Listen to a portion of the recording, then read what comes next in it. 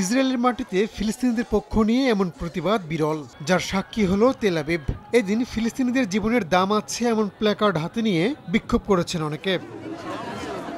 শনিবার রাতে নবনির্বাচিত ডানপন্থী বিনিয়ামিন সরকারের বিভিন্ন পরিকল্পনার প্রতিবাদ জানিয়ে তেলাবিবের রাস্তায় নামেন হাজার হাজার মানুষ।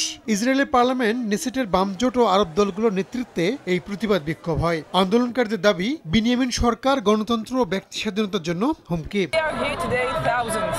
যে সরকার গঠিত হয়েছে, তাদের বিরুদ্ধে ইহুদি ও আরবরা একসঙ্গে তেল আবিবে জড়ো হয়েছি। এই সরকার সবচেয়ে কট্টরদের সঙ্গে হাত মিলিয়েছে। তারা এমন সব আইন করার পরিকল্পনা করছে যা ফিলিস্তিনি ও সংখ্যালঘুদের অধিকারের সঙ্গে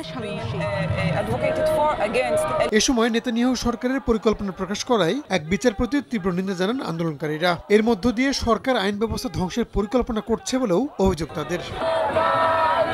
ইসরায়েলের ইতিহাসে চুয়াত্তর বছরের মধ্যে বর্তমান বিনিয়ামিন সরকারকে সবচেয়ে কট্টর হিসেবে বিবেচনা করা হচ্ছে। বেশ কয়েকটি ডানপন্থী জোটকে সঙ্গে নিয়েই সরকার গঠন করেছেন নেতানিয়াহু। এরই মধ্যে গেল সপ্তাহে তার মন্ত্রিসভার এক সদস্য পবিত্র আলাক্সা মসজিদ প্রাঙ্গণে গিয়ে বিশ্বজুড়ে সমালোচনার জন্ম দিয়েছেন। রাহানুল রানা, সময় সংবাদ।